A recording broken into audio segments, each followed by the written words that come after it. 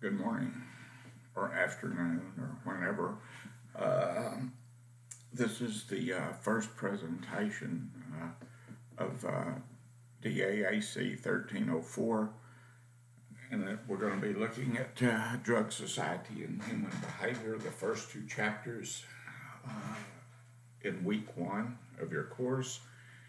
And um, we'll be just basically taking an overview of uh, drugs of abuse, what they are, why we should be concerned, language that we use, what we're talking about, how we define the problem, how society responds to the work problems that we define, and some meat and potatoes things to get us started into this uh, uh, semester. And I'm happy to have all of you here. Um, and uh, without uh,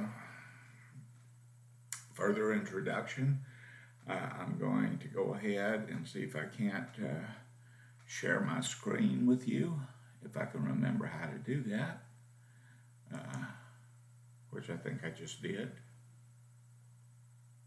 but maybe I didn't. There it is. Uh, yay. I'm kind of rusty at this. I haven't done it in a couple of weeks, and it's amazing how fast I can forget stuff on the with using a computer. Uh, so,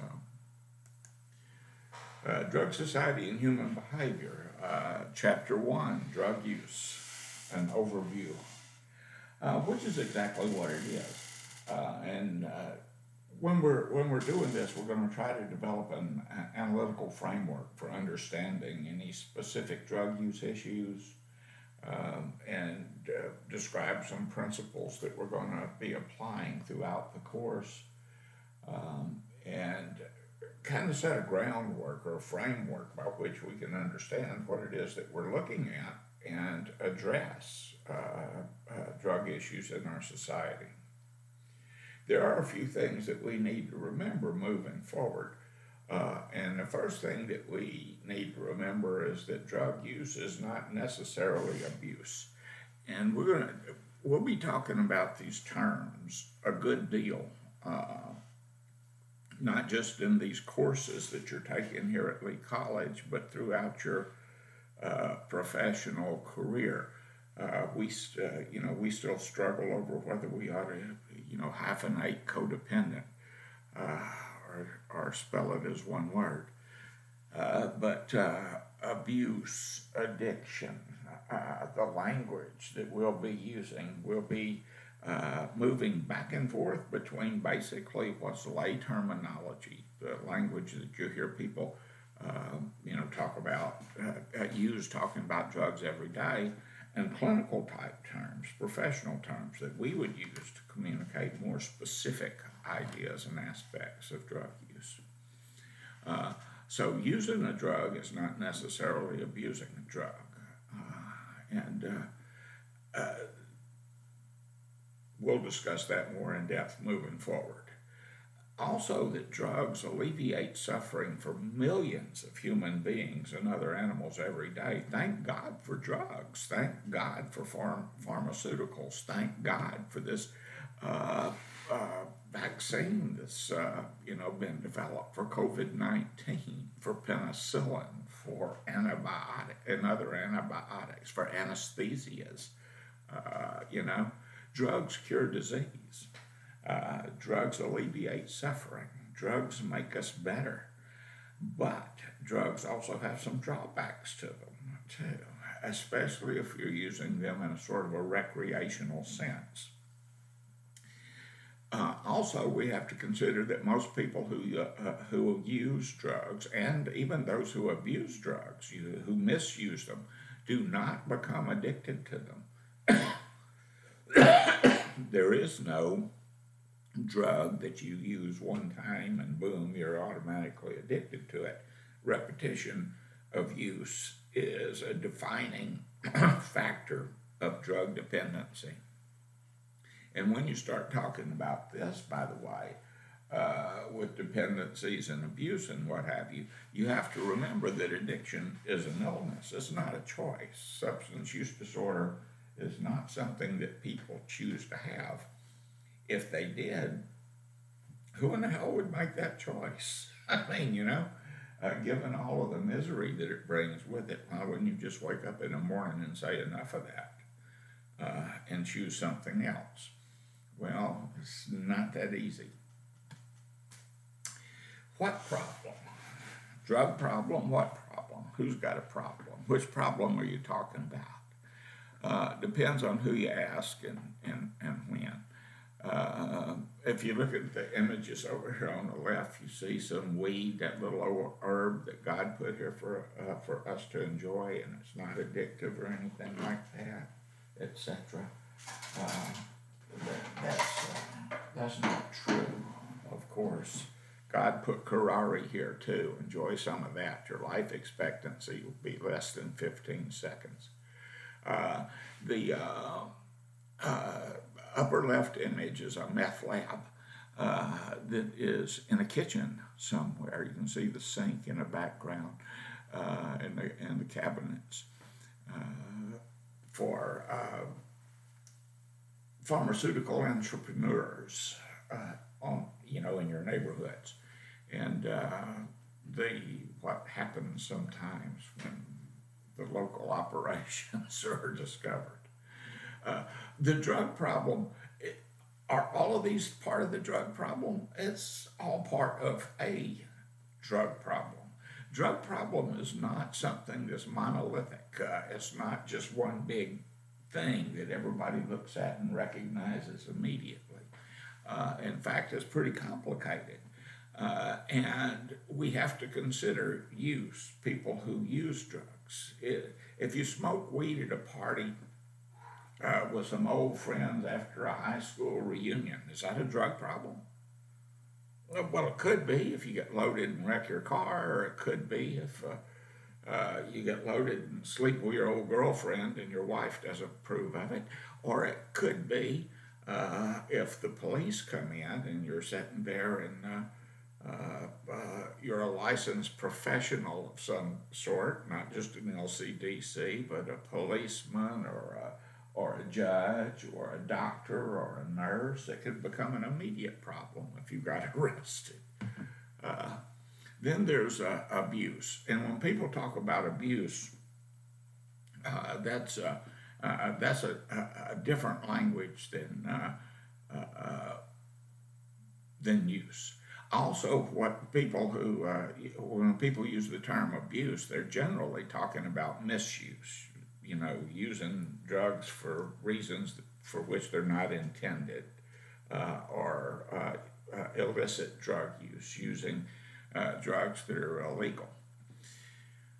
Dependence is a whole other uh, ballgame, and dependence on the dr- uh, on drugs is complicated. But that basically, when you depend upon something, you rely on it. You need it. It becomes necessary to you, and we'll talk about that more in depth as, as we move forward. And addiction is uh, another way of talking about that uh, dependency, except addiction has another element, has some other elements to it as well. There's physiological addiction. If um, uh, you know, if you stop using the drug, withdrawal symptoms, things like that physiological addiction in terms of changes that go on in the brain that create cravings and obsessions and things like uh, uh, of that nature. All of these things taken together is what we're talking about when we're talking about a substance use disorder. It encompasses all of these other ideas, um, but it also sets out a more uh, logical, reasonable way of, uh, of identifying, you know, what's going on with an individual, and it creates a way, particularly uh, for uh, professionals who are uh, trying to identify uh, an issue, the severity of the issue, and come up with interventions. It gives us a language and concepts by which we can communicate with one another uh, and to the client to their benefit.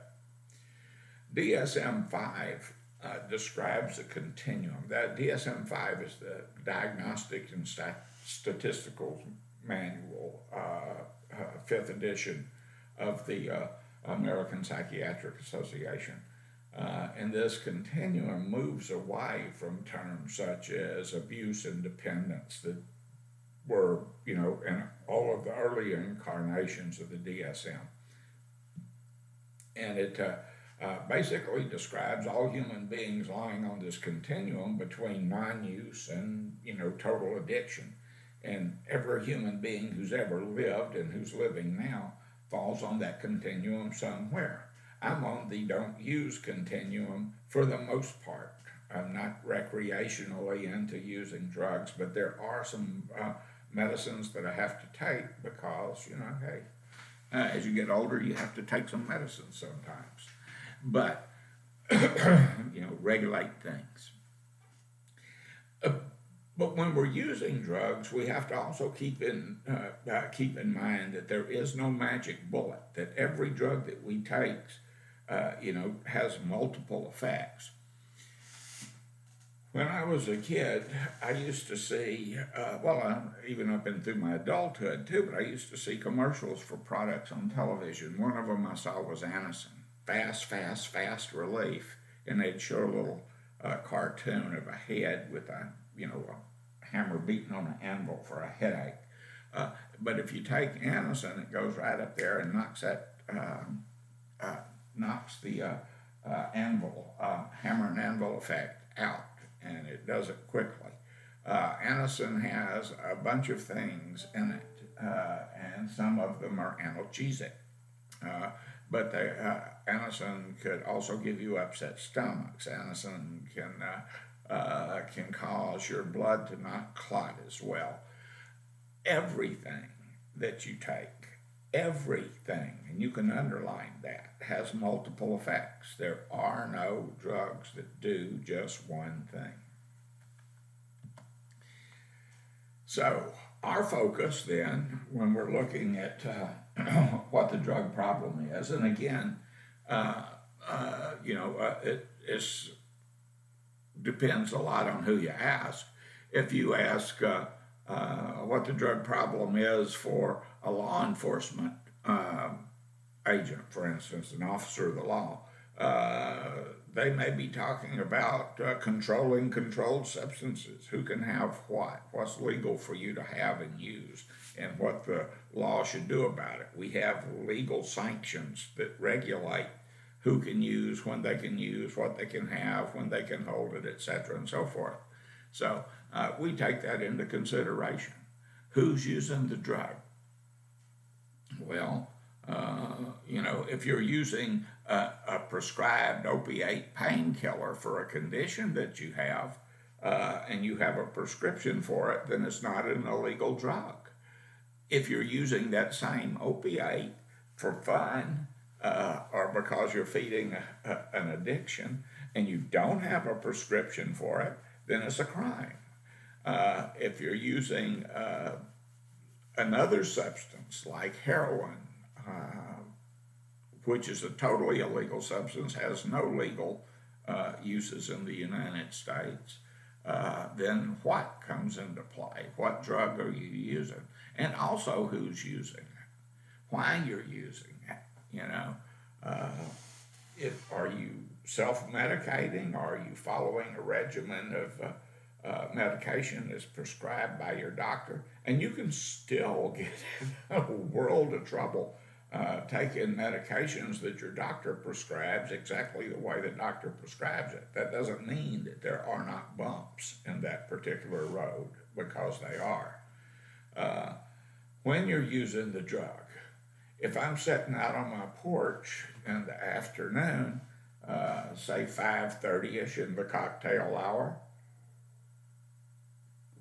and having myself a nice cold can of beer, with my feet kicked up and you drive by and see me on the porch doing that, you may think, well, look there.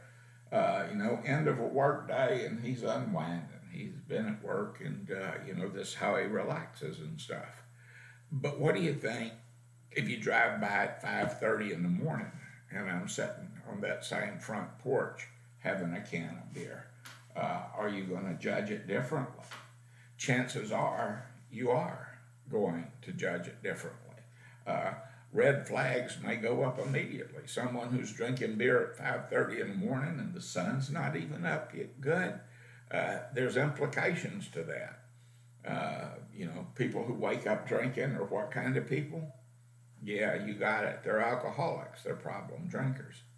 Truth of the matter is, maybe I work a rotating shift and I just got off of work. Uh, it's still the end of my day and I'm relaxing. Does that necessarily mean I have a problem?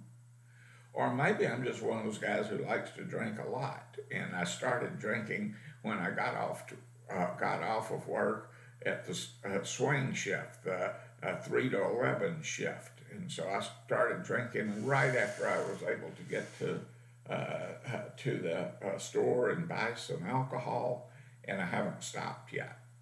Uh, how I'm drinking has something to do with it. Or maybe again, going back to what? That's not how I like to unwind. Maybe what I'd rather do is shoot some heroin. Uh, and you see me doing that on my porch. Or, uh, uh, or huff some volatile inhalants, uh, some paint thinner, something along those lines. Uh, you know, again, and who? So it's not me that you see doing this. It's a pregnant woman. It's a kid who's a, you know, a teenager or younger, preteen. Uh, you know, where are we when we're doing this? How are we doing it? Am I snorting it, drinking it, smoking it, shooting it, getting a bum's rush, which is an enema with drugs in it? Uh, you know, uh, why am I doing it? Whys do come into play, but not so much as these other things. Uh, and we tend to put the cart before the horse sometimes. The why a person is using uh, is important, but it's not the most important thing. Psychoactive substances are, uh, uh are what we're going to be looking at. They're going to be our primary focus in this in terms of what people uh, are using. There are a number of pharmacologies that are off, offered at Lee College, and they uh, have a different focus for different programs. If you're in the nursing program and you think this is the pharmacology class that you're supposed to have, no, it's not, and you should get that straightened out right away. Same as if you're uh, going into health information technology, medical records, they'll have a different uh, pharmacology course. So uh, this is a pharmacology course for uh, the addictions counseling, and ours is going to be the pharmacology of addictive substances. So our focus is going to be on the drugs of abuse, the uh, so-called controlled substances, and the legal substances that cause a lot of problems for us too. Uh, we'll also look at pharmacological agents that are used in the treatment of substance use disorders.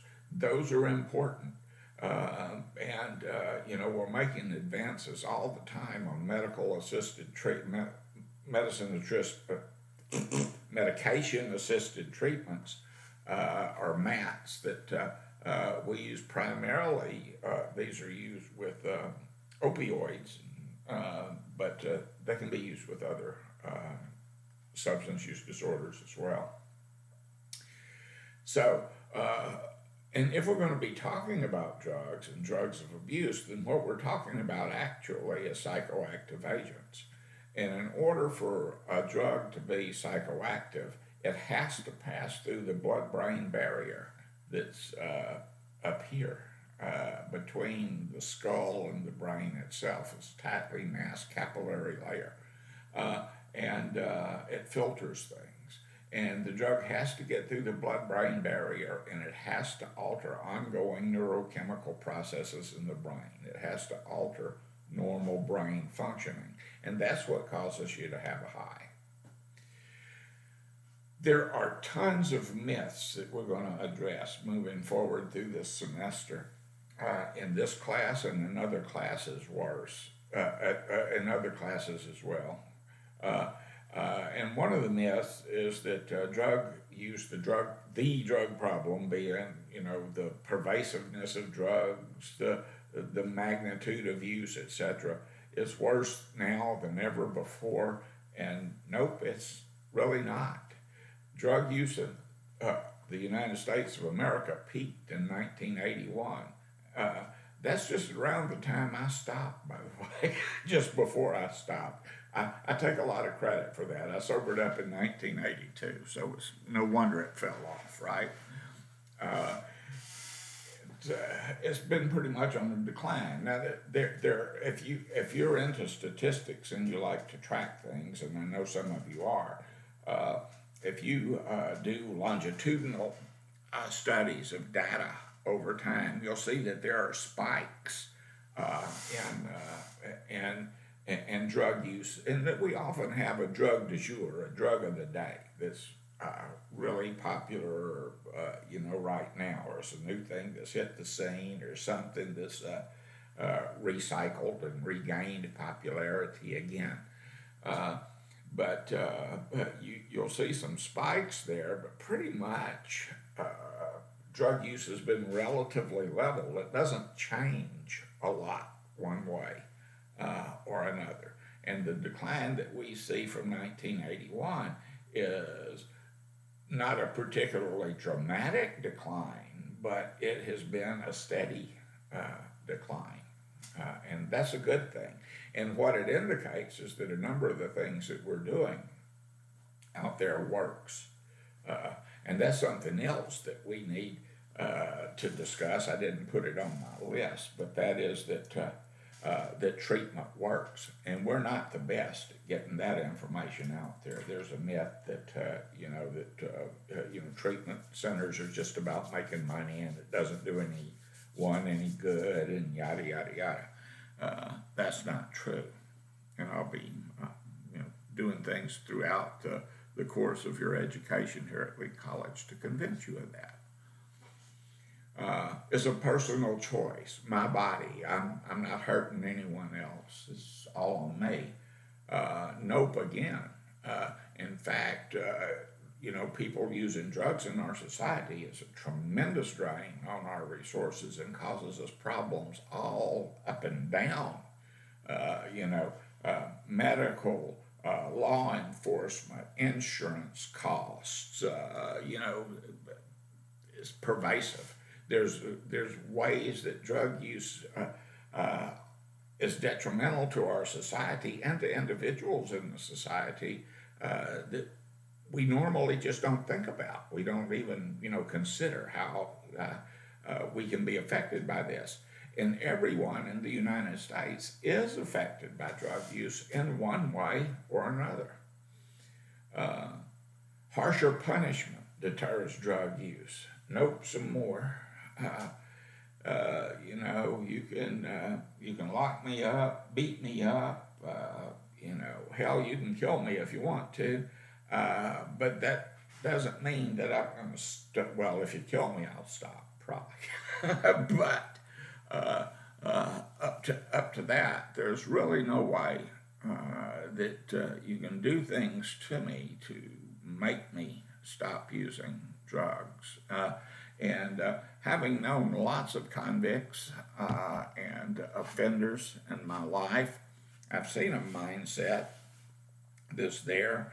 Uh, and when you've perfected that mindset of not giving one single second-hand damn for what other pers- other people think or what they do to you, uh, in fact, you can kind of put yourself outside of the realm of being punished. Uh, you know, it doesn't mean anything to me. So you know, knock yourself out. Decriminalizing drugs encourages drug use. Nope. But it seems like it would, huh? Uh, it seems like if you said, okay, I'm not going to put you in jail anymore for doing this, that everybody's going to rush right out uh, and do that, right? Uh, if I say, you know, that uh, jaywalking is not going to be a crime anymore, everybody's going to rush right out to jaywalk.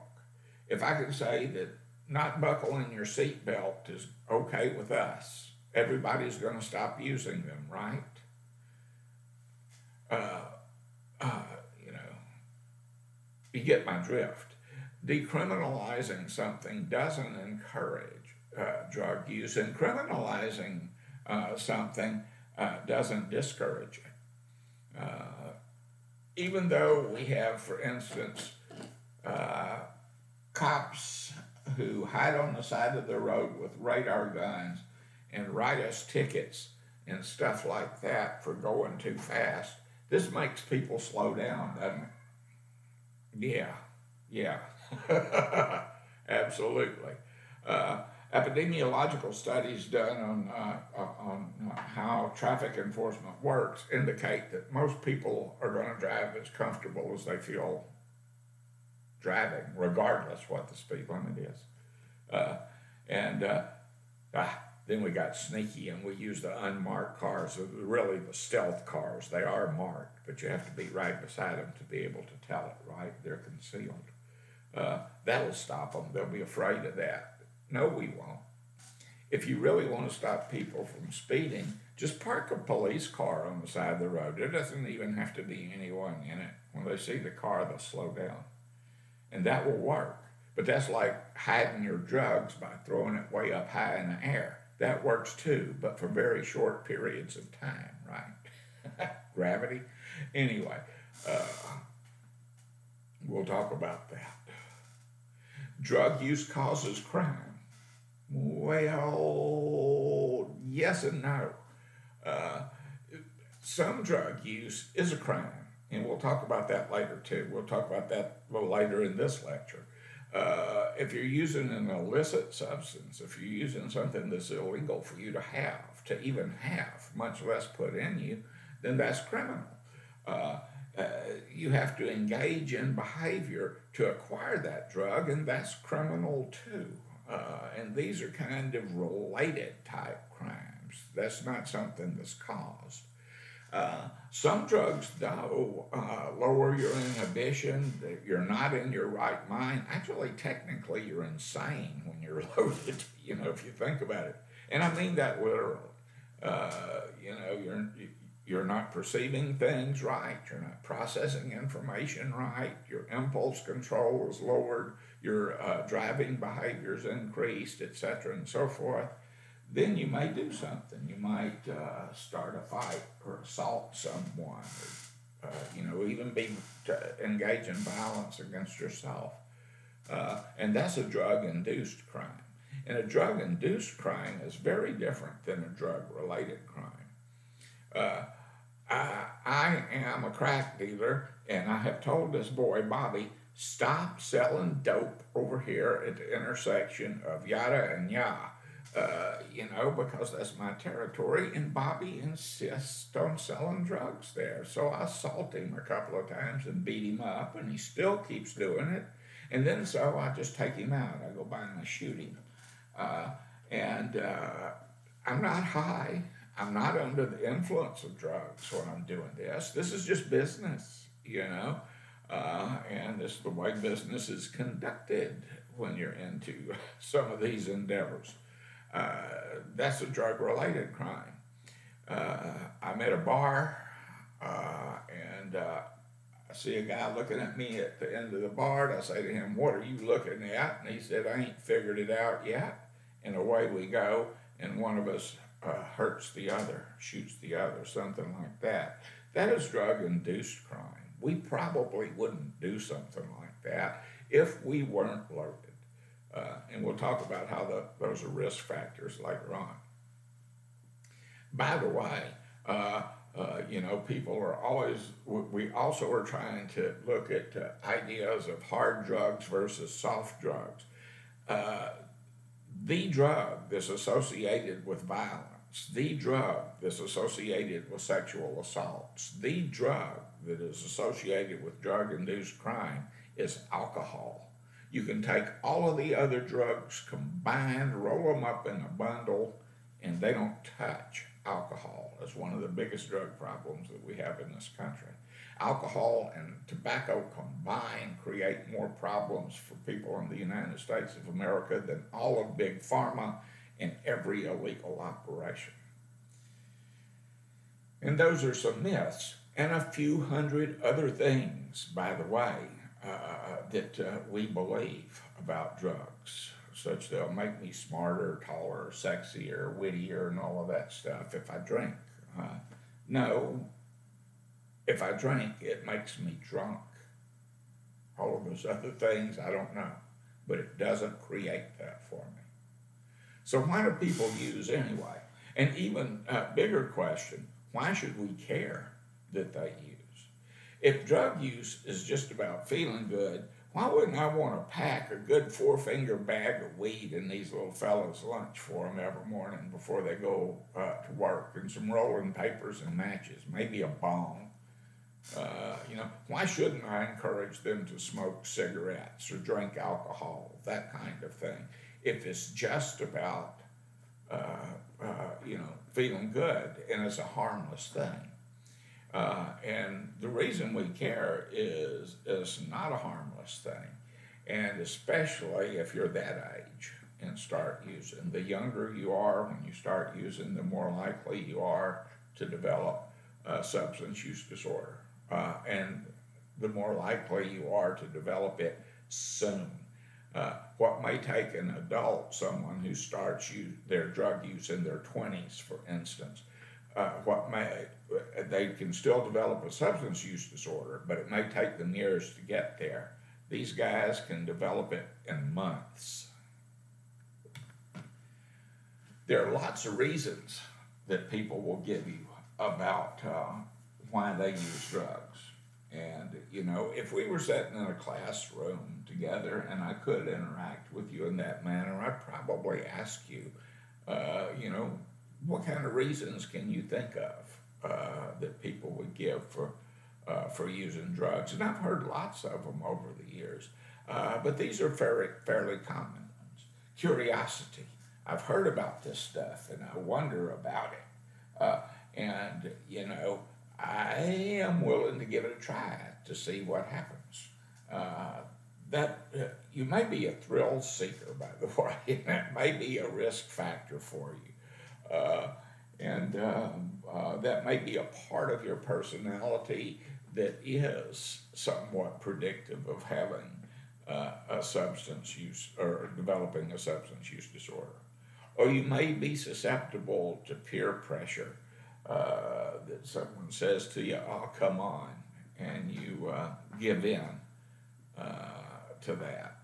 You may be someone who is um, you know, who really invest in wanting to be accepted by a particular group or something, uh, and and succumb to to that and uh, take and you know give in. Uh, you may want to escape worries, and you watch television. You see that uh, you know one way that you can always escape worries is to have uh, have a drink, use a drug, uh, and that's how you avoid the unpleasantries of your life, or that you're doing it to enhance social experiences, uh, to make things easier for you in a social setting. This is particularly uh, uh, critical if you happen to be an adolescent, like you're learning how to develop uh, uh, relationships with. Uh, you know, friendships and romantic relationships too. Uh, and uh, you're learning how to interact with your peers and build these relationships and all of that kind of good stuff. When I was uh, younger, uh, oh, well, it, nothing really has changed. I, I like girls, and uh, my wife's one. well, she's not a girl anymore, but you know, but nevertheless, girls are kind of. Um, scary. Uh, and you know, if you're uh, going to like go to a club and and uh, and try to strike up a, a, a conversation or uh, you know do pick someone up at the club, you risk rejection. Uh, but uh, one of the cool things about being in a club is you can medicate that rejection so that if I have a couple of drinks uh, I can go up to a lady there and uh, start a conversation. And uh, maybe with a couple more drinks, I feel very comfortable asking her to dance and getting out on the dance floor. And, you know, my anxiety is decreased. Uh, and after a couple of more drinks, I'll ask her daddy to dance. I don't give a damn. Uh, you know, so and it feels like this is doing something for me and in terms of making it easier for me to interact and to do certain things. But I'm not learning any really good coping skills. And if your uh, idea of asking someone out on a date is you want to go up to my place and do a couple of lines, you've probably got some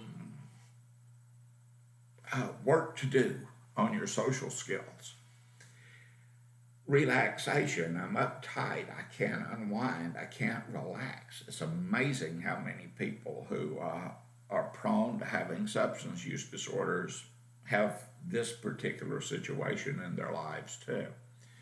Uh, but what I would uh, uh, what I would say about these reasons is these are reasons to use. These are not reasons that explain substance use disorders. These are not ways of understanding what happens to people who develop a, a, a dependency on substances. Curiosity is satisfied once you've used the drug. Why do you go back and do it again? Peer pressure is, uh, you know, once yielded to, it's gone. Why are you going back and using the drug again? Escape from worries. If they come back, you didn't escape. know? but uh, so it didn't work. Why use again?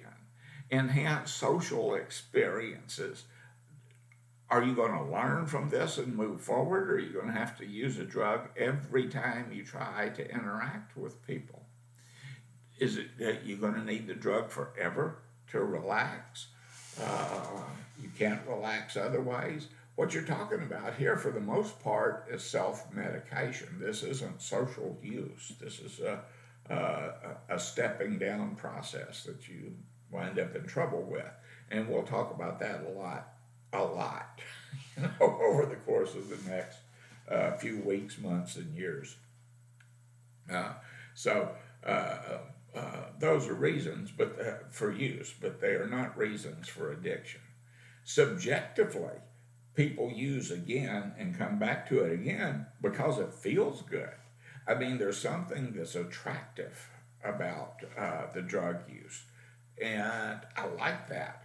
I enjoy being drunk. Now, I'm, I'm true confessions time, and this is our first date. I don't know if I should be laying all this out on the first date, but uh, uh, this is, uh, uh, uh, I am not someone who sniff and uh, sip on wine or anything like that. Uh, uh, I don't like what a couple of drinks feels like in my body. I'm an affect drinker.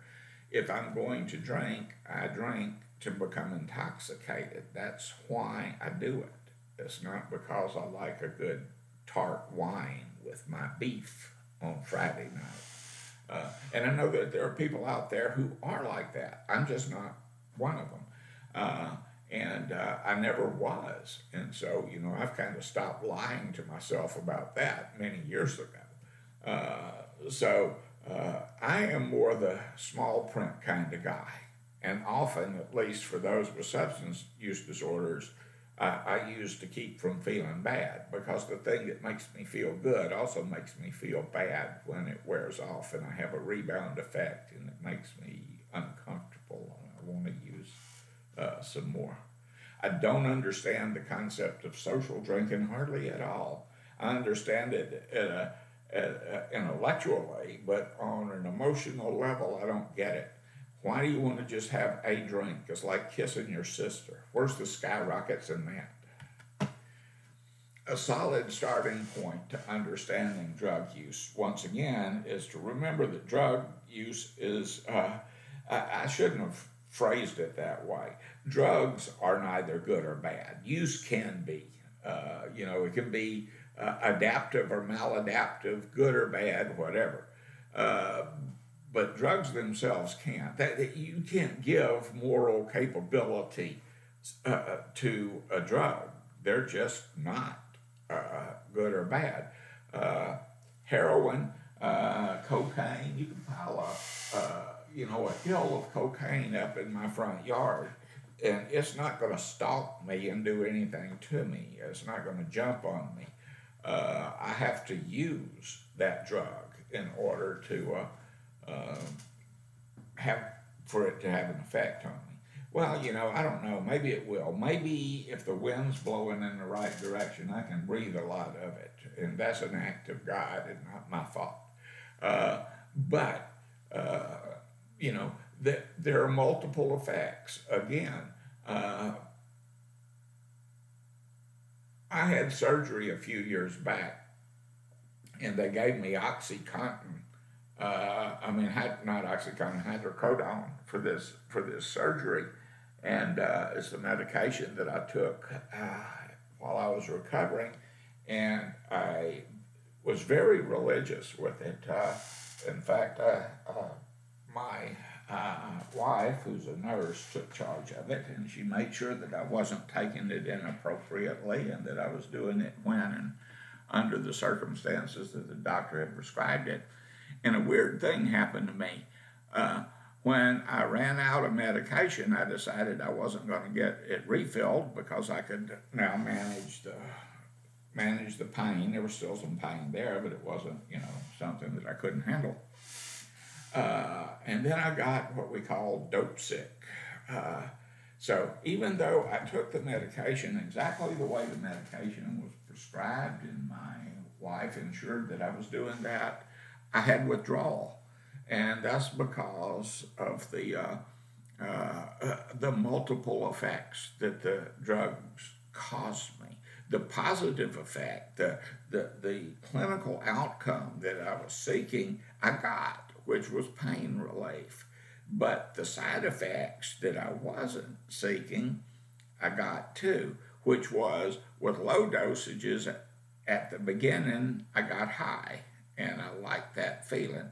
It wasn't out of control high, but when I take narcotic drugs, it gives me a buzz if I haven't uh, taken them in a long time. But because I am uh, substance use disorder, uh, if uh, I continue to take that drug, say one pill every four hours, you know, for pain as needed, four to six hours as needed.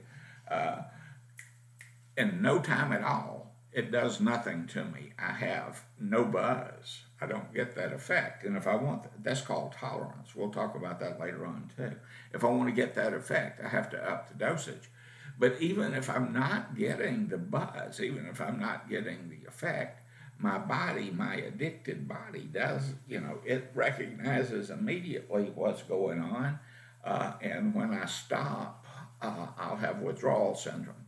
Uh, so if I have to take something like that, uh, and I have had, uh, uh, you know, I have to look forward to how I'm going to stop. I have to look forward to where how am I going to titrate the dosages down, decrease, step down the dosages instead of just taking these uh, medications for a week or 10 days or however long and then just stopping.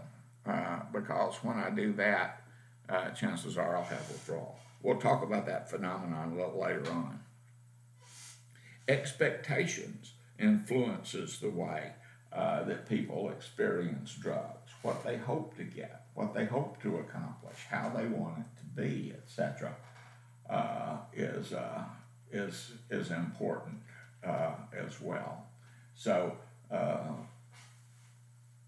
and then there's again that subjectivity of experience that I talked about earlier, how we see things, how we evaluate our experiences, what we're hoping to get, and uh, and how we uh, uh, organize that experience for ourselves. Krazy Kat and Ignatz, uh, A Tale of the Eye of the Beholder. George uh, Joseph Herriman was an American cartoonist uh, who, who was born in 1880, died in 1944 and so he was dead uh, some years before I was ever born. Uh, but this, uh, his cartoons, I'm, and I'm a cartoon era kid, man. You know, I was a comic book fanatic and things when I was a youngster. Uh, but uh, these these three characters, this is Krazy Kat, and this is Ignatz Mouse, and this is Officer Pup. Uh, and what you're seeing here is a study in uh, a couple of things. One is this is a romantic triangle, believe it or not. Krazy Kat loves Ignatz Mouse. Uh, and Ignatz is not a lovable character. He's mean, he's petty, uh, he's always cruel to her. And as you can see now, he's smacking her in the head with a brick. Uh, and what what you see over here uh, coming from her, her thought is love. Uh, so Ignatz is paying her attention, even though he's braining her with a with a brick, and she interprets that as affection. Uh, and this may be something I should talk about more in a family class or relationships class than a pharmacology class. Uh, but uh, uh, for her, that's uh, a, a, positive thing, what's going on. Uh, over here, Officer Pup loves Krazy Kat and is always doing good things for her and things like that. And he will take Ignatz Mouse to jail every once in a while for his cruelties and excesses in the way he treats her. Uh, but she keeps, you know, returning. And you can see up here, he's seeing what's going on. It's a transgression. Uh, Ignatz Mouse is uh, violating the law which is a bad thing. And he's assaulting this poor kitty, which is a bad thing, etc., and so forth. And Pup will probably uh, take her to jail.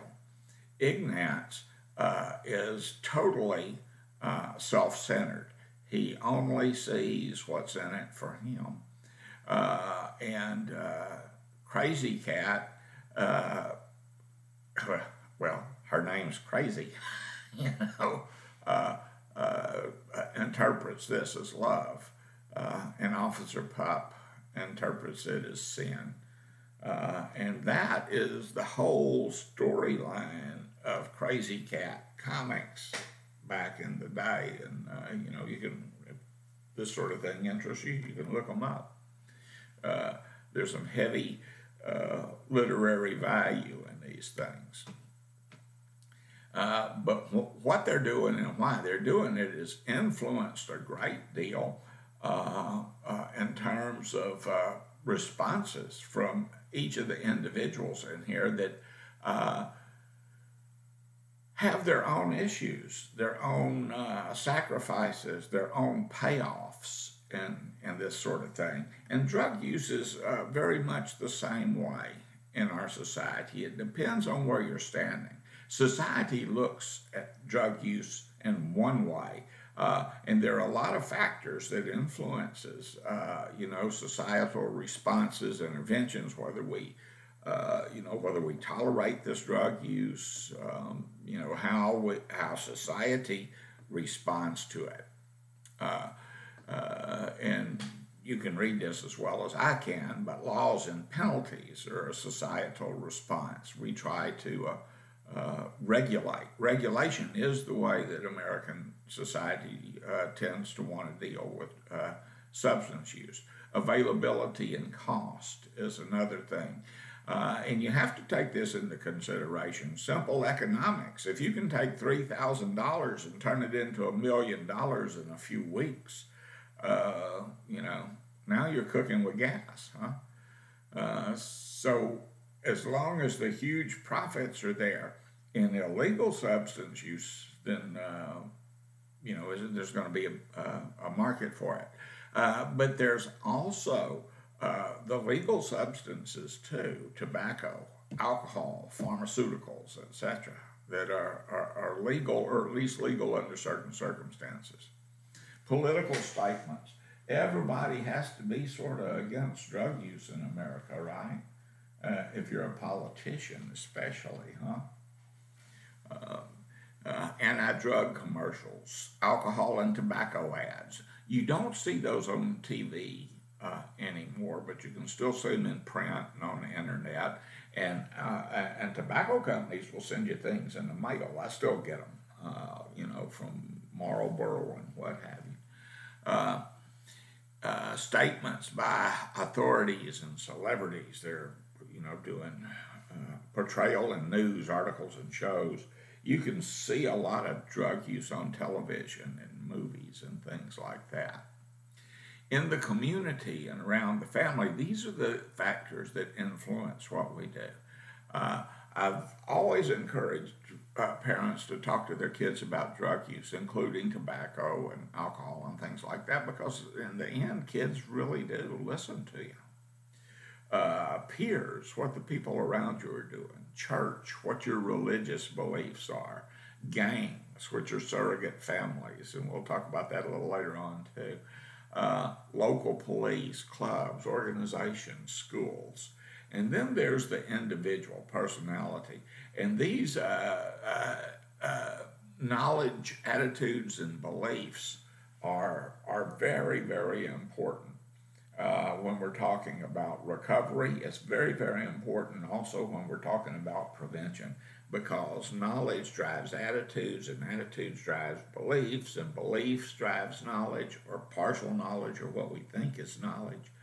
Uh, you know, uh, and the truth of the matter is, uh, you know, your beliefs don't change reality. Uh, and uh, I'm going to try to say this without being political. Uh, COVID 19 is still um, an issue. I mean, there's a vaccine, yes, but it's not widely available to everyone yet. And COVID 19 is still an issue. Listen to me it's not a hoax. It's not something people are doing to trick you. It's not something that people are doing to try to take your personal freedoms away from you. It's a freaking virus. And a mask will prevent you from spreading it to other people. And if it's a good mask, it will prevent other people from spreading it uh, to you. You know? Why is this important? It should be obvious we want to reduce the spread of the illness. We want to uh, decrease the cases. Uh, herd immunity may come, but it will be at a high cost. You know, I can preach to people about the evils of drug use. I don't, but I can. Uh, and uh, it's not going to override their personal drug experience. you know, we had these kind of things going on when I was in school too. I'd go into the auditorium and they'd bring some convicts down from Huntsville in white uh, jumpsuits and, uh, uh, you know, their uh, tattoos all over them and looked like they just swung down fresh from the trees. Uh, and they're telling us all about the horrible things that will happen to us uh, if we use drugs. and me and my buddies, my buddies and I, would be sitting uh, in the back with their feet up on the, uh, you know, the, the seats and saying, yeah, but you're losers. Uh, and we're not. You know, we're, uh, we're different. Uh, and that's, that's something that you hear from a lot of substance use disordered people. You don't understand. I'm different. Uh, yeah, I do understand, and you're not. but anyway, uh, then there are motives and needs, biology, and all of this stuff uh, influences how uh, we do drugs. And if I look forward to using and I see it as a harmless thing or, uh, or even a beneficial thing, then uh, you're going to be hard pressed to sell me on the idea of sobriety. And that's something we need to keep in mind too. Vocabulary. But if thought corrupts language, language can also corrupt thought. George Orwell, 1984. Uh, and uh, people who read Orwell, uh, you know, ought to go into it with the idea as much as anything else, 1984 is a study in linguistics. What can you say uh, when Newspeak uh, has corrupted the language so much that the worst thing you can say about Big Brother is that he is double plus ungood. Uh, hard to get a revolution started with that kind of language, huh? Drug is a big word, but in a general sense, what we're talking about when we uh, uh, say drug is that it's a chemical that in some way alters the organism. And in terms of psychoactivity, it's a way that alters the organism's emotions and thoughts and perceptions. Legal drugs, uh, like we were talking like, like I was talking about a while ago, uh, may be controlled substances. Uh, in diazepam, for instance, uh, that that's a controlled substance that's legal if you have a prescription for them. If you have the bottle and your name's on the bottle and your doctor prescribed it for you, it's legal. Uh, by the way, uh, you can still get busted for being under the influence if you're driving and the officer deems you as being uh, impaired. But uh, but the substances are legal. You're not going to go to jail just because you have them, right? Alcohol and tobacco products, they're legal if you're of age.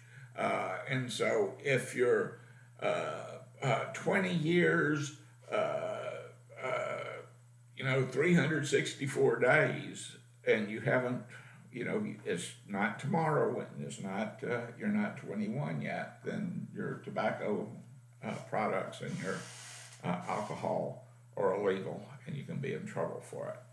Uh, but if you wait till midnight and, and, and let the clock roll over uh, to where you're 21, uh, it will be totally legal. And that thing that you were not mature enough to do 12 hours ago, you can now do.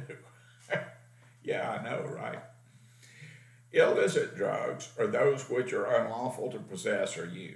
If you don't have a prescription for the diazepam that you have, or you've got a different kind of medication in a pill bottle that has your name on it, or uh, for alcohol or tobacco products if you're not of age, then that's a crime, and they'll treat you like a criminal.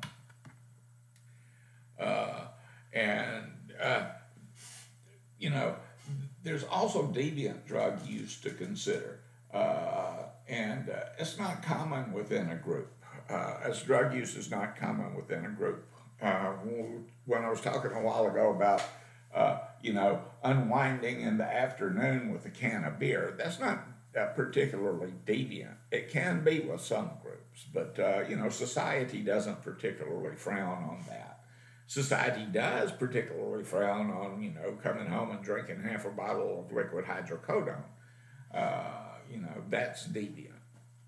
And even deviancy that occurs within uh, that occurs in terms of the larger society may not be deviancy in terms of subgroups within that society, and those groups become deviant.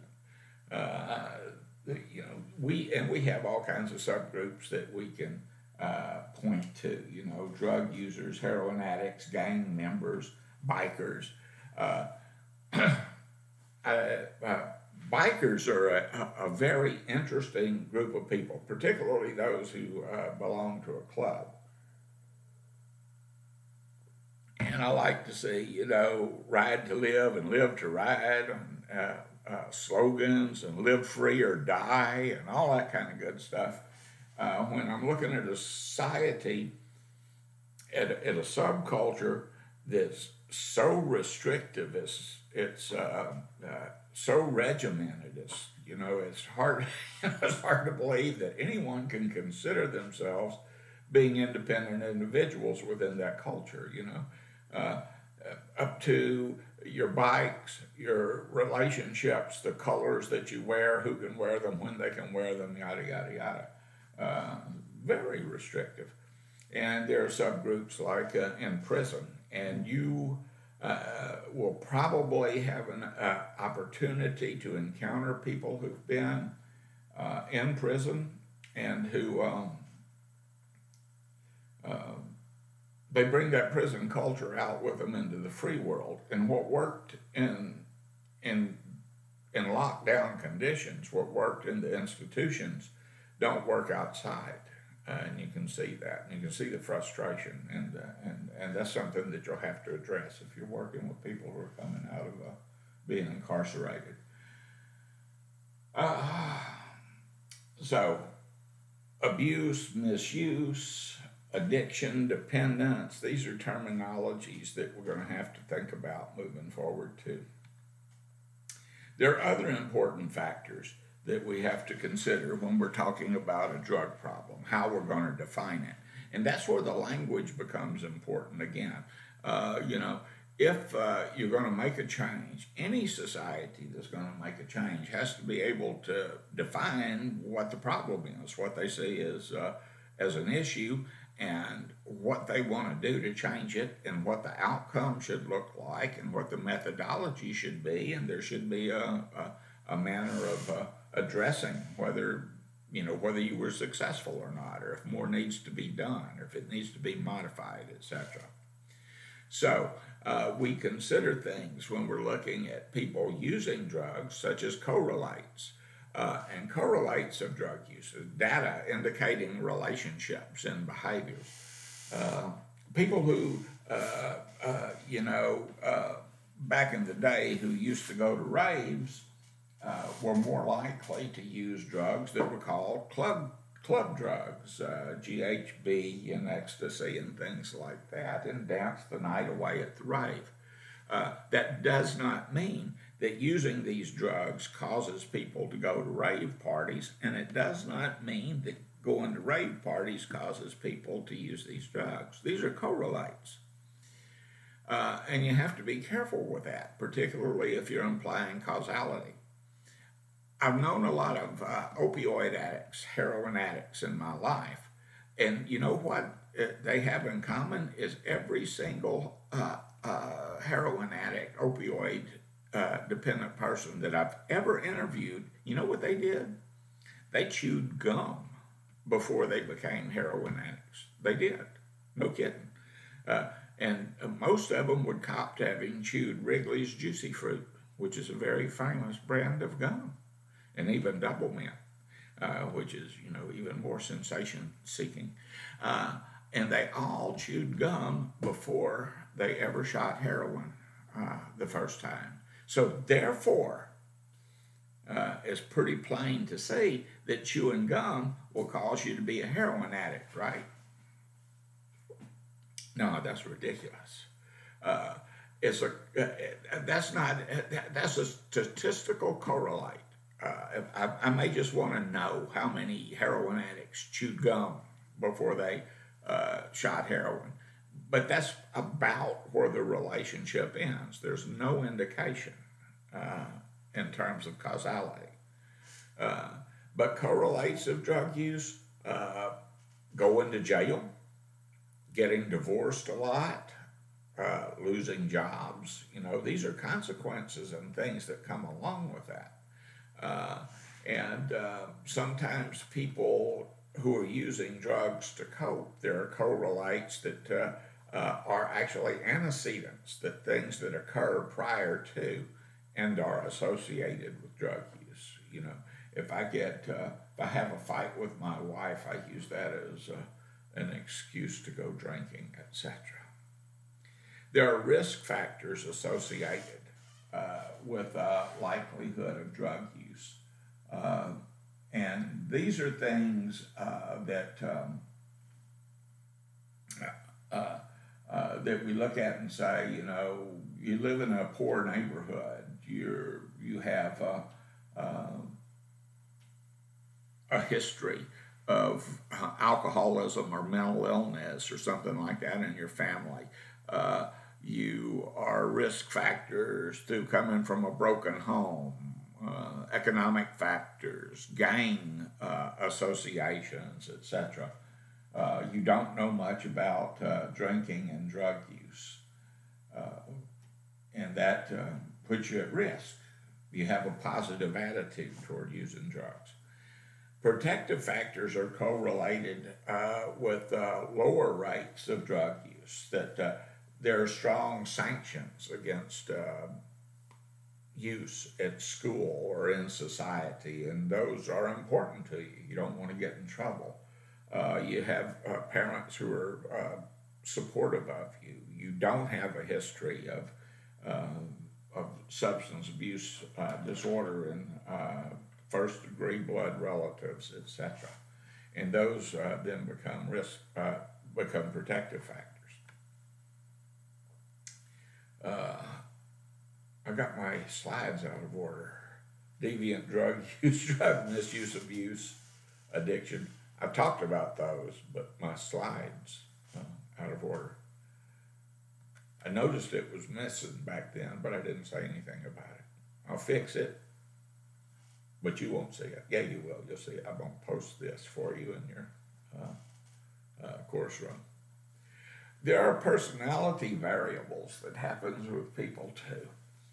Uh, the addictive personality. What the hell is that addictive personality we've been looking for forever? Uh, human behavior can be predictable if we see patterns emerging in past behaviors, but looking at uh, uh, you know past behaviors and saying something's going to happen and it's going to create this situation in the future becomes a little more iffy. Uh, addictive personalities, what are they like? Uh, well, they have poor impulse control. They do things, you know, without much notice, without putting it through critical thinking. It just seems right at the time, and boom, we do it. We have low self esteem. That's pretty true. Uh, you know, the things that we do to ourselves sometimes and that we allow other people to do to us and things like that indicate we don't think too highly of the old self. We don't have much tolerance for frustration. Uh, I know that most of you have uh, uh have uh, uh, heard the serenity prayer at some point. God grant me the serenity to uh, accept the things I cannot change, uh, the courage to change the things I can, and the wisdom to know the difference. Uh, well, a lot of us do the short form of the Serenity Prayer, which is it, right? Uh, and so there's a little tolerance for frustration.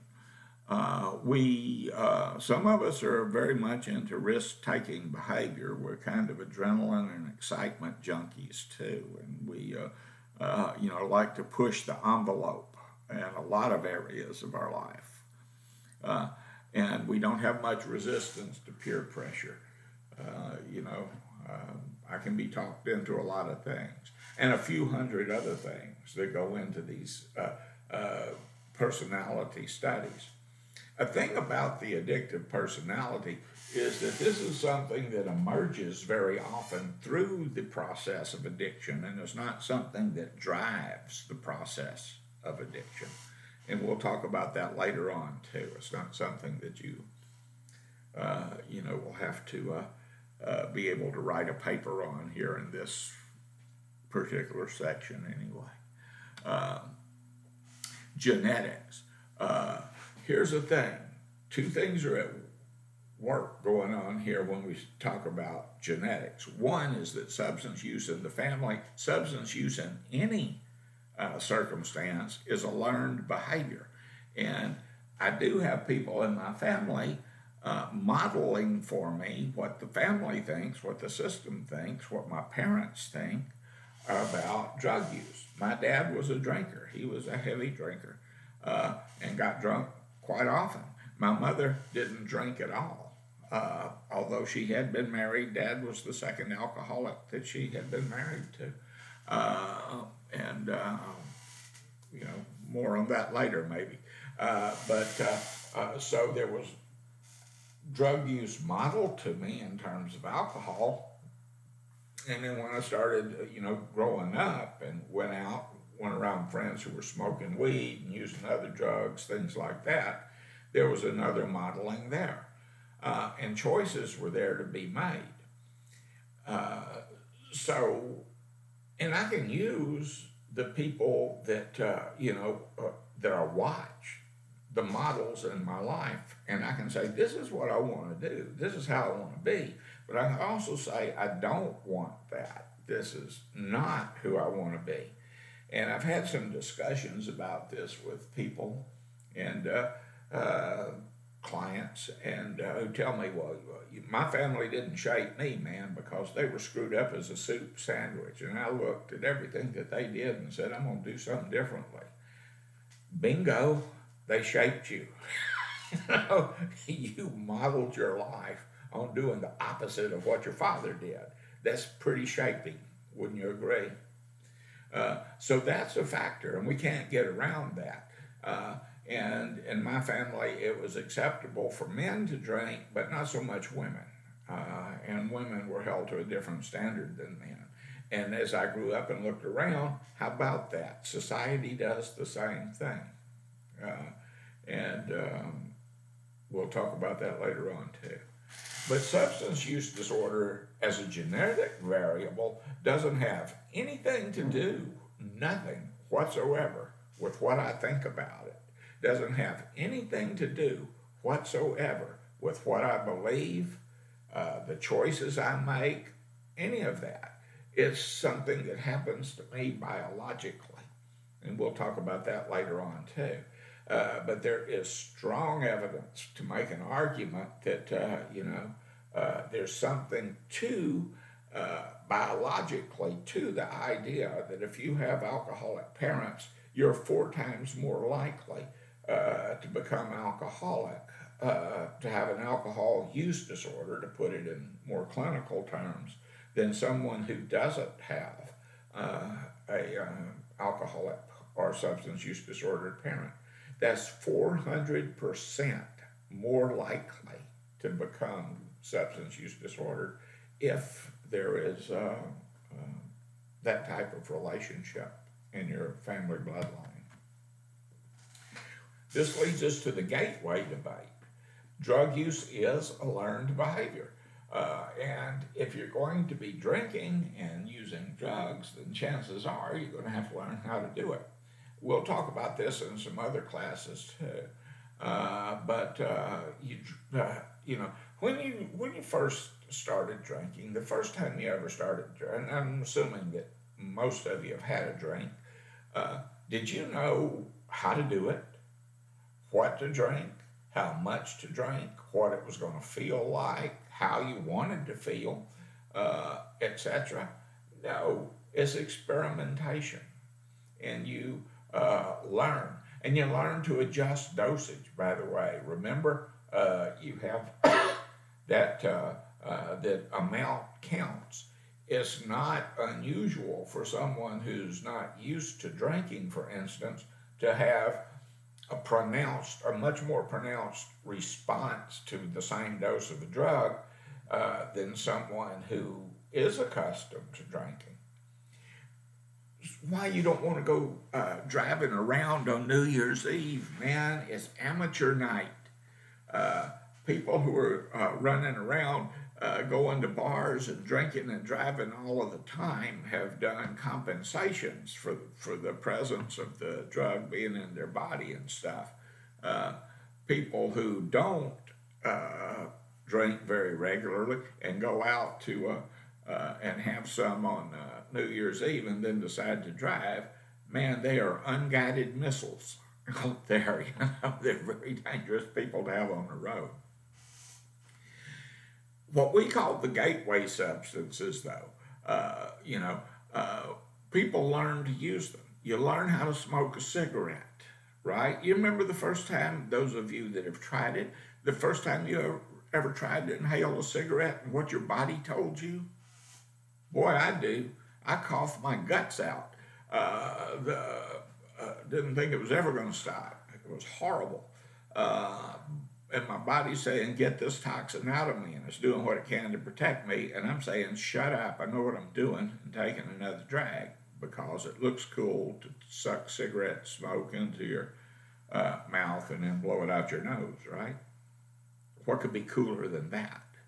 Uh, anyway, so uh, smoking cigarettes, taking a drink. Uh, you know, if you keep upping the ante uh, through your associations, uh, then uh, is this a gateway substance? Because I started smoking and uh, fooling around with other things, chewing tobacco, drinking beer, that kind of stuff when I was young. Uh, that moved me up to the point to one day I was sitting there with the choice to make about whether to uh, uh, put a needle in my arm and inject some uh, uh, illicit drugs in there. Uh, and it didn't seem so weird at that point, and I chose yes. is that, um, you know, is that the gateway that I, I walked through? This isn't an easy open and shut question, actually. research doesn't support the gateway theory that uh, uh, because I smoke cigarettes, I eventually wound up using injectable drugs and other type of drugs, and you know, uh, becoming a alcohol use disordered, whatever. Uh, it doesn't support that. A lot of people who uh, uh, smoke cigarettes or start smoking cigarettes or even start drinking alcohol, they do not progress into harder drugs. And their use of the drugs that they do start using, the gateway substances, don't progress into a more serious form. Uh, they just either stay where they are, they moderate down if they start having problems, and some of them do it for a while and just quit. Don't, you know, uh, which is um, a, a, very reasonable and responsible thing to do. Um, it's more likely that when we're talking about this, that early alcohol use and cigarette smoking, they're common indicators of uh, that one personality trait that I think uh, uh, uh that I think uh, uh, leads in, leads more of us into trouble than anything else, and that's the thrill seeking. you know, I want to be deviant. I'm going to do this because you know because they told me not to. they said, I can't get away with it. Watch this. It's like when my dad was spanking me when I was a kid, and he'd say things when he's smacking me, you know, like, Don't you ever let me catch you doing that again. And I'm dancing around trying to keep my butt out of his way and uh, thinking to myself, Don't worry, you won't catch me doing that again, by the way uh, didn't occur to me to stop doing what I was doing just to cover my tracks better. Uh, maybe that is a deviant personality. It's pretty embedded, though. Uh, there's uh, an increased likelihood of smoking marijuana or trying cocaine among people like that. And it's not because they were exposed to cigarettes and alcohol uh, early on. So, in conclusion, uh, with uh, chapter one, uh, there, there are many problem, drug problems found in societies. They're not one thing. And if you, uh, you know, ask the cop, it's about how to enforce the laws. If you ask the lawyer, it's about how to prosecute or how to uh, launch a defense. Uh, if you uh, ask the drug addict, it's because I'm out of dope and I have no money, you know. so there's it depends on who, who you're talking to. It's also important if we're to address uh, problems that we're careful to define them, use specific language in our discussions. When we get to chapter three, we're going to see some legal responses that never quite panned out the way we thought they would, and a lot of it has to do with language. Uh, substance use disorders are not behaviors that individuals choose. But poor decisions are a component of the disorder. The uh, substance use disorder people make a lot of bad choices. Uh, but being substance use disordered is not one of them. We looked at the, the, all of those plethora of reasons that people might use drugs, but uh, uh, not all of them are particularly problematic, and not all of them, uh, you know, provide evidence that uh, that uh, these choices were uh, what led to the to the addiction. In, in short, that uh, people don't choose to be drug addicts. Most people who use psychoactive substances, and this is something that you need to consider uh, uh, every day when we're out there walking around and talking to people and they're asking us questions and we're trying to answer them is that most people who use psychoactive substances do not become addicted to them. They don't. Uh, not to crack, not to heroin, not to pain medications, not to alcohol, not to cigarettes, even. Although cigarettes are probably the most addictive substance that we've got going out there. Uh, the uh, uh you know they try them. Some of them may even use them uh, on a fairly regular basis, but they don't uh, fall into the uh, uh, addiction category. We cannot diagnose them. Uh, and they can have problems with that addiction as well, but they are, uh, again, uh, not diagnosable. So, chapter two drug use is a social problem. Uh, this won't take too long, but, and again, I'll post these slides uh, on in your classroom where you can have access to them. And of course, you can always uh, watch this video. What in hell is the drug problem anyway? Remember, we asked that in the last uh, uh, lecture just a few minutes ago? It's a good question. Glad you asked it again. It's a legal issue, it's a moral issue, it's a supply issue, it's a medical issue, it's an illness, it's a crime, it's a choice. Uh, it is and is not all of these things. Uh, clear enough? Pretty vague, huh? Uh, but uh, this is something we got to work on. It's something that you'll be working on in your practices. We usually look at three processes by which we try to make a determine of uh, a determination of uh, what the drug problem. And for you and I, uh, substance use disorder is the drug uh, is the drug problem, and it uh, uh, meets diagnostic criteria that's laid out in the DSM-5. it's diagnosable. It is something that we can make a determination of. We can evaluate it for severity. Uh, we can treat it. We can uh, have successful treatment. It can be it can be arrested, uh, and there can be successful outcomes. But we look at uh, the processes of toxicity, dependence, uh, and to some extent crime, and looking at how this is expressed societally. Toxicity is the first thing that we need to look at. Uh, there are lots of uh, uh, drugs that are toxic that may not be particularly um, psychoactive. Um, if you and, and, and if you're taking something like Vicodin, for instance, Vicodin is something that you build a tolerance on, and it's a toxic drug. It can certainly overdose you and kill you if you take too much of it. But a problem that we see with people uh, who are taking very large dosages of Vicodin over time is not just the hydrocodone uh, that's in it that's uh, cre- creating the addiction problem, but there's a lot of acetaminophen in it as well, Tylenol, uh, which is another analgesic substance. But high dosages of, uh, uh, of the analgesic acetaminophen uh, can really whack your liver.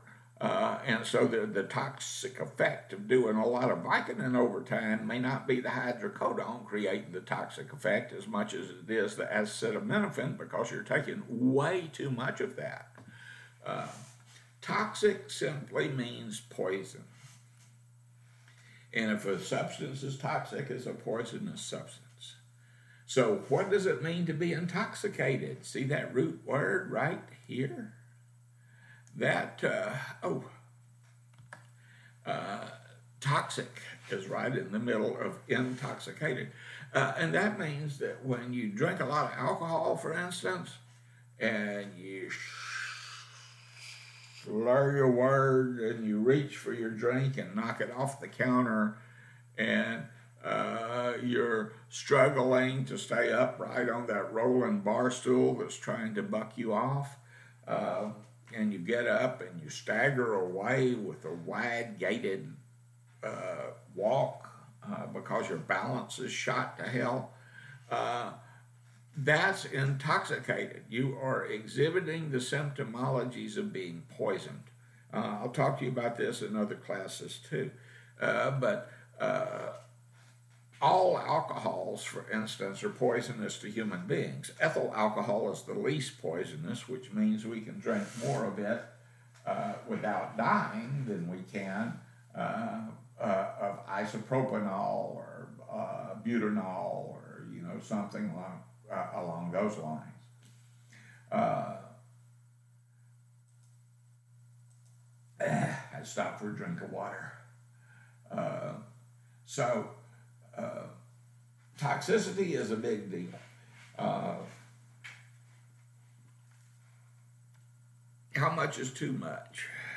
Well, you can die directly from alcohol related poisoning. We'll talk about that uh, in some other settings, uh, of course, but uh, usually when you do that, you drink too much, you pass out, uh, and you vomit and then drown in the vomit, or uh, you drink too much and you pass out, you put to sleep the part of the brain that controls breathing, you stop breathing, and you die of respiratory arrest. Toxicity occurs with a lot of different drugs. Approximately 70,000 OD deaths in 2018 involved uh, opioids and opiates, while at the same time, almost half a million people died of illnesses related directly uh, to, al- uh, to tobacco use. Alcohol and tobacco use is without a doubt the most serious drug problem in terms of human life that America faces in terms of toxicity of the substances.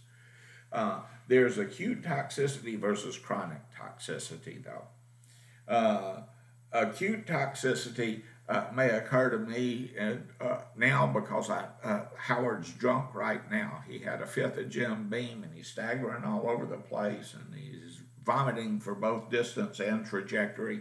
Uh, that that kind of thing. That's an acute toxicity situation. I could pass out. It could be life threatening. but if I don't die, tomorrow I'll sober up and I may have a hangover, but other than that, I'll go on with my life. That's an acute intoxication event that's related to acute toxicity. Chronic toxicity, on the other hand, is uh, Howard's drunk right now and he has cirrhosis of the liver. Uh, and tomorrow, when he sobers up, he'll still have cirrhosis of the liver, but it will be worse tomorrow than it is today because of the fifth of Jim Beam that Howard put in him uh, and is going to eventually kill him, uh, is uh, going to be a likelihood there. That's toxicity. Dependence is another thing. One of my old mentors uh, was a guy named Spencer Andrews. He was a CADAC. I met Spencer in 1985, uh, and uh, I was, um, you know, working. I was leading groups for Dr. Jason Barron, going to school, learn how to be a, uh, what at the time was called a certified alcoholism and drug abuse counselor, or a CADAC. Uh, anyway, um, the uh, and that's what Spencer was. And we were talking one day when I first came to work there, and I admired Spence very much, uh, and he taught me a lot. He did. Uh, but he said, if you want to know if a guy is an addict, take away his dope and watch what happens. That's the best thing to do. Uh, and uh, there's much truth to that. If you're in a controlled situation where you can take a person's drugs away from them and watch what they do, they'll pretty much tell you how important that uh, substance is to them and what their relationship with it is. Uh, but there are types of dependencies physical dependence versus psychological dependence. If I've got a heroin addict on my hands and all I have to do is uh, uh, is uh, get him off of the drug, you know, to, to detoxify him from that drug, heck, I can tie him up in the garage, you know, chain him to a, uh, to a post out there and uh, throw him a sandwich every once in a while, make sure his creature needs are taken care of. In roughly two weeks' time, a little less, uh, he will have gone through his withdrawal, uh, and uh, you know there won't be any more problems. He's, you know, he's not going to be dope sick anymore. He's not going to be having, uh, you know, the the cold turkey, the vomiting, the diarrhea, the cramps, the bone aches, the hot flashes and cold chills, and all the nasty stuff that goes along with that. Uh, but I will not have cured him of his physical dependence. And I will not have addressed his psychological dependence. And along with that physical dependence is the psychological dependence. I have seen physical dependence develop without psychological dependence. Uh, the case I described uh, earlier, uh, when with taking the medication as prescribed by the doctor, I didn't trigger a psychological dependence, but my body had a physical physiological one. Uh, you know, and I, I, again I had withdrawal, uh, and my withdrawal, by the way, from that was relatively minor because I wasn't using the drug for you know for that particular length of time, but I made physiological changes through my body. Uh, uh, through my experience, through my use of substances over time. And so I kind of set the stage. And this is a problem uh, that we'll encounter uh, with recovering people who, as we age, uh, you know, and, and other illnesses happen to us and things like that, we're often going to be, and Spencer was one of them, uh, you know, during the last years of his life uh, they gave him a lot of drugs, and I mean, poor Spence struggled with those and struggled with those. Not because you know he was a bad actor or he was seeking a high or anything like that, but because of his physical dependency. Uh, and if you are someone who is um, who has a physical dependency, then you're going to have to be very careful uh, with your medications, what you use, and how you use them. Uh, and uh, there's a uh, another big lecture on that in the future. Uh, but uh, uh, psychological dependence is another thing. I cut my heroin addict that I've had chained up out in the garage. I cut him loose, and he leaves footprints right up the middle of me going to uh, uh, contact his supplier because he has been focused on this very moment throughout my whole uh, Adolf Eichmann uh, School of Detoxification uh, of uh, getting that next high. So away he goes. He's been uh, craving and fantasizing and thinking and longing for this. That's dependence. That's the dependence that's more difficult to deal with than the physical drive. Although the physical sick is a very, very powerful negative reinforcement for someone uh, to go and get high again. Yeah, but it's a crime. And drug use does all kinds of things with crime, right? Uh, quote from my little brother If you want to end crime, get rid of laws. If it ain't illegal, it ain't a crime. Uh, and he had a point on that. Uh, and we talked about drug induced crime. That's the things that you do uh, when you're high. And uh, you know, and and the drug that's most closely associated with that again is alcohol. Drug-related crime is stealing things to uh, uh, to get high.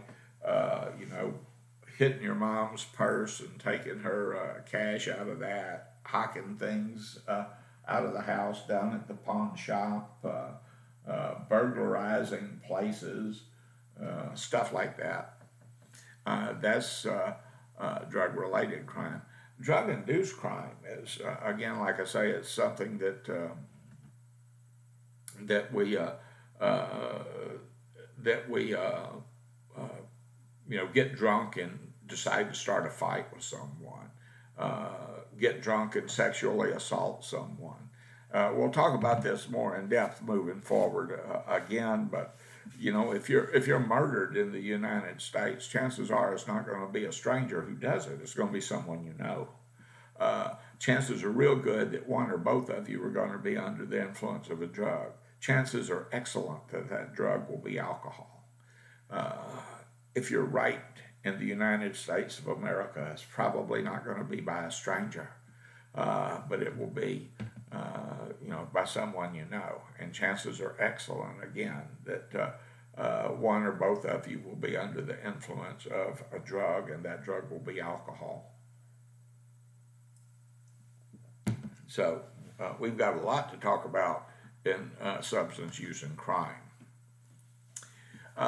these are two books. these were written, The Cross and the Switchblade was published in 1962, and then a few years later, uh, uh, and this was written by uh, David Wilkerson and a ghostwriter. and uh, Nicky Cruz and a ghostwriter did Run Baby Run. But uh, uh, David Wilkerson was a country preacher of an Assembly of God church up in Pennsylvania who read about a crime in New York City where there were seven defendants were accused of stabbing a, a, boy to death, a boy who had uh, polio. And uh, Wilkerson uh, was moved, uh, felt that he was called by God to go up there and uh, uh, minister to these kids, which he did. the ones who were who were being accused of who were being accused of uh, uh, something's going on in my house.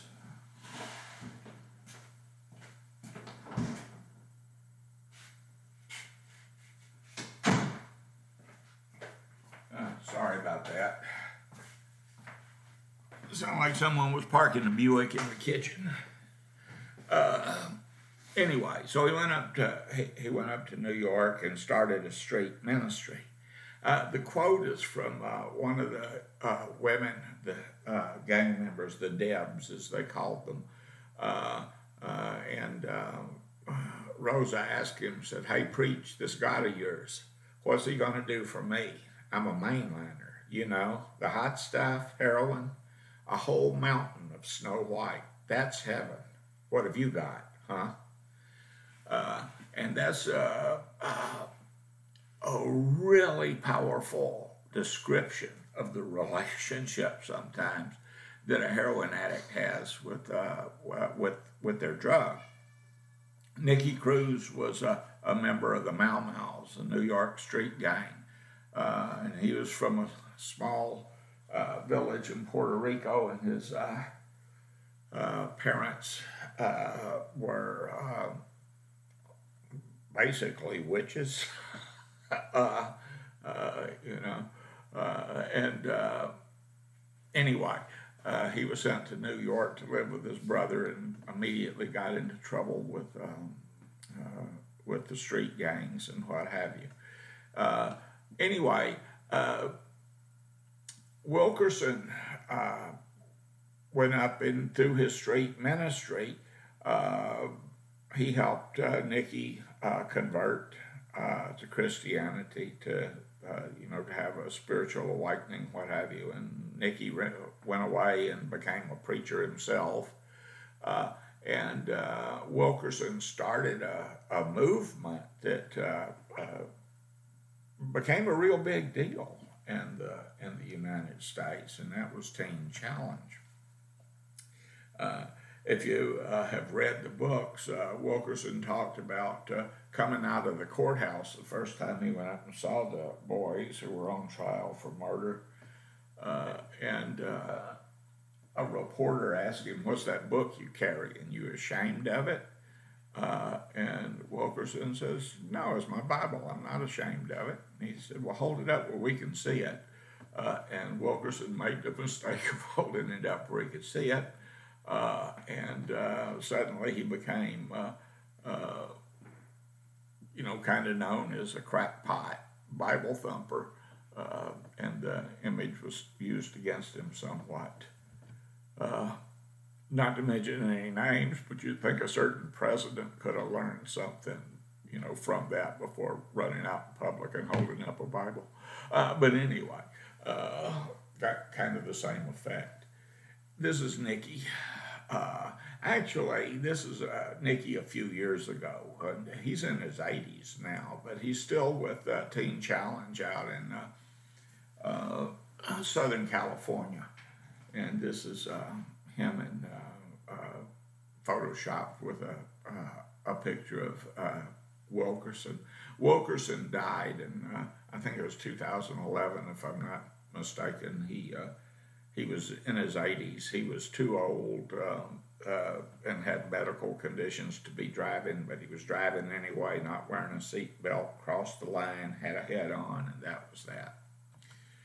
Uh, but Teen Challenge moves forward, uh, and the small operation that Wilkerson started in 1961 now has more than uh, 1,400 accommodation centers in 125 countries around the world. So, uh, Teen Challenge is somewhat ubiquitous.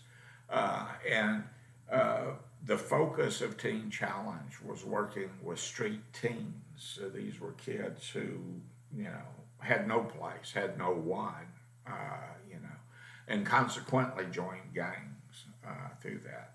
This is a, a graduating class of uh, the uh, uh, Teen Challenge boys in Kentucky, and here's some of the graduates of the Southern California Ventura class of three years ago.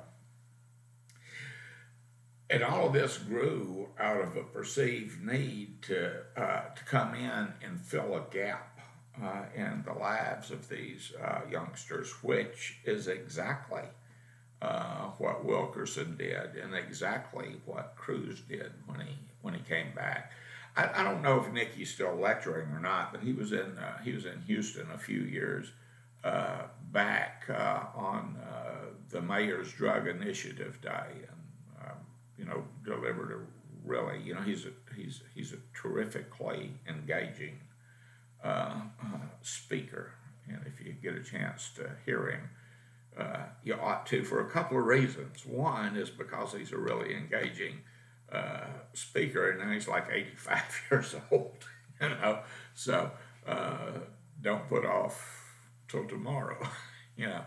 Oh, Teen Challenge, by the way, is not without controversy. It is a religious uh, uh, organization, and a number of uh, uh of uh, you know the successful uh, and recognizable drug treatment initiatives are are also religious or spiritual in nature. Alcoholics Anonymous, Narcotics Anonymous, you know, they're, they're considered spiritual answers to uh, to the addiction problem. Uh, Palmer Drug Abuse Program uh, that Father Charlie and Bob Meehan and John Bradshaw got organized in the basement of uh, uh, of on the bottom floor, not the basement, of Palmer Episcopal Church in Houston. you know, directed towards teenagers and uh, others as well. So there's Odyssey House, lots of them. But Teen Challenge is associated with Assembly of God Church, uh, although uh, uh although he was a Millerite, uh, Wilkerson was believed that denominational stuff separated Christians. It's not a you know, and that that wasn't good. That you know they they should be united. Uh, but uh, anyway, his uh, organization has been um, uh, challenged it's, uh, at a number of locations for being too strict, sometimes even abusive uh, with the people who are there. and, you know, not an uncommon allegation to be, you know, leveled at a religious organization or entity. and that um, uh, uh, that several of the uh, several of the locations were engaged in the uh, uh, very unpopular and uh, very useless attempts at conversion therapy to make homosexuals not homosexual anymore. Is substance use disorder really an illness, though.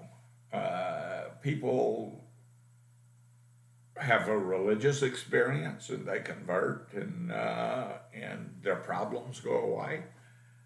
Uh, no, not really. Uh, and it uh, and it doesn't. You know, I told, I mentioned a while ago that I'd seen a person who had the physiological illness without the without the psychological dependence and uh, one of those that jumps to mind, and I've seen several of them, but one of those that jumped to mind was a Presbyterian minister.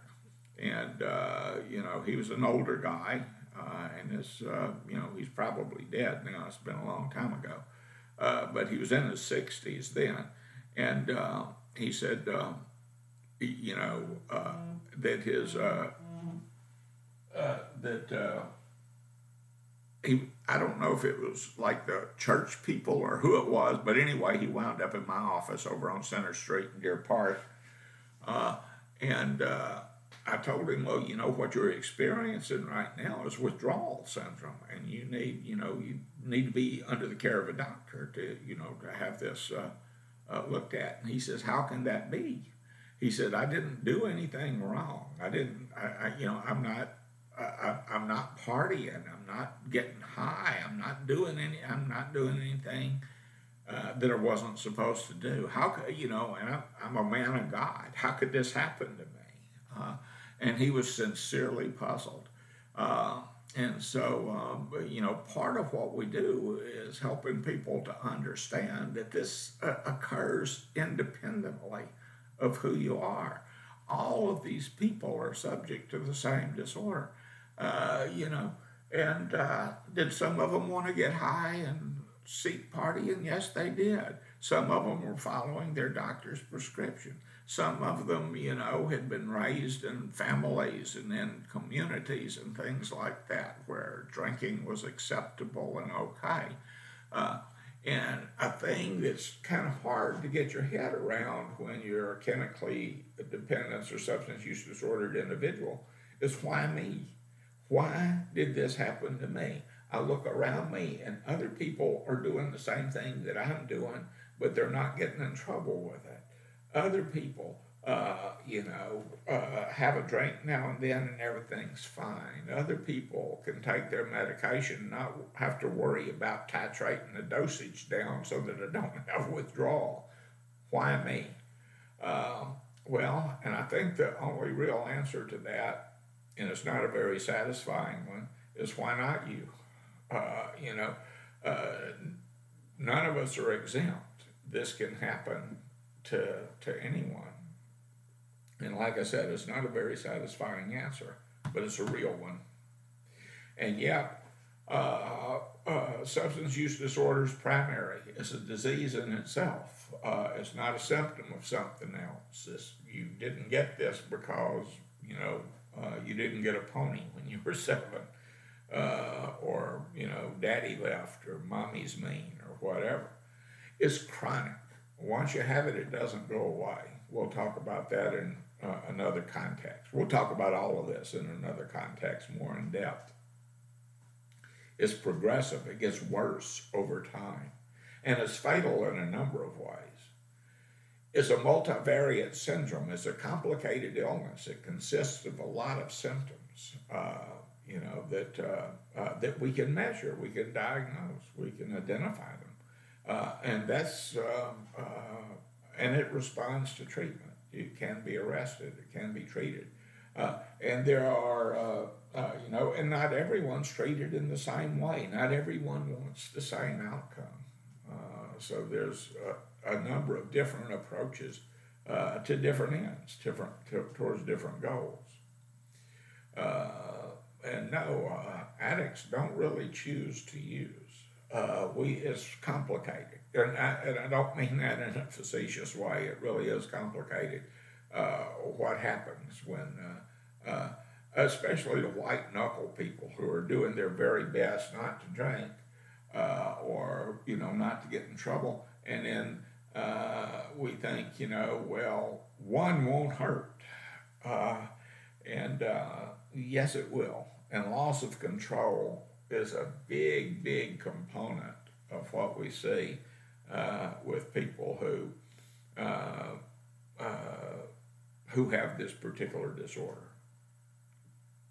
There's an old saying in AA that when you get killed by the train, by a train, it's the engine that gets you, not the caboose. It's the first drink uh, that hits you, uh, not the last one. Uh, we talked about the three processes of uh, dependence the, uh, to some degree, that, uh, but about physical dependence and psychological dependence. And tolerance is something else that has to be considered. Tolerance refers to a diminished response to the same dose of a drug over time. And abnormal tolerances indicate an increased likelihood of substance use disorders and dependence. If uh, 10 of us, uh, you know, decide to do an experiment and uh, uh all of us drink a pint of whiskey, say in the next 20 minutes, we're going to drink a pint of whiskey. Uh, out of that 10, eight of you are going to be pretty, eight of us, uh, I'm including myself in the 10, uh, me, uh, and nine of you, a 10, eight of you are going to be wiped out by that pint of whiskey. Uh, you know, uh, a pint of whiskey in 20 minutes is a lot of whiskey. Uh, some of you are going to be passed out. Some of you are going to be puking. So all of you will be staggering around pretty much, except for me and one other person. And we're going to be saying to one another, ah, look at these lightweights. Let's go dancing. Uh, and out of that group of people, there's some abnormal tolerance there. Who do you think the abnormal people in the room are? Yeah, I, absolutely right. It's me and that one other person who's saying, let's go dancing. Everybody else is reacting the way you'd expect someone to act after they have drunk a pint of whiskey in 20 minutes. They're affected by it, visibly affected by it, and uh, their behaviors changed, etc., and so forth. So when you have people who are telling you, I can't be an alcoholic, man, I can drink enough alcohol to float a boat. you know, when my friends are all passed out and stuff, I can still walk a straight line. You know, I can't have a problem.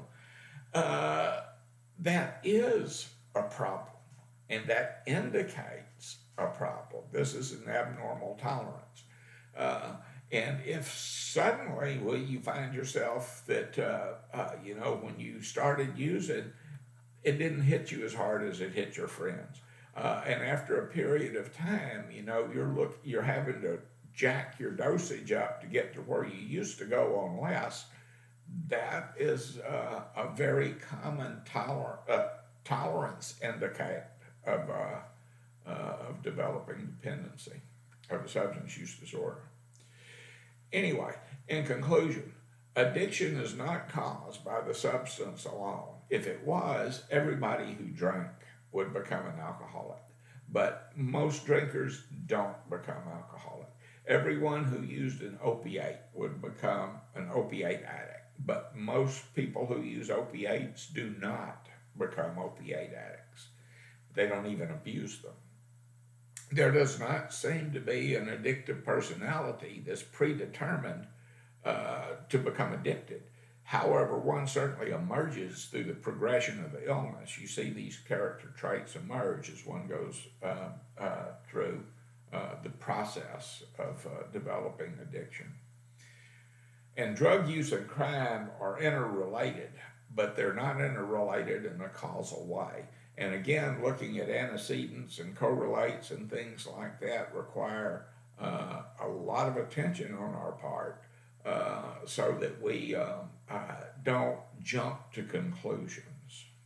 And we'll talk about that some more too, because this first lecture is just an overview. Uh, and we'll get a little more specific as we go forward.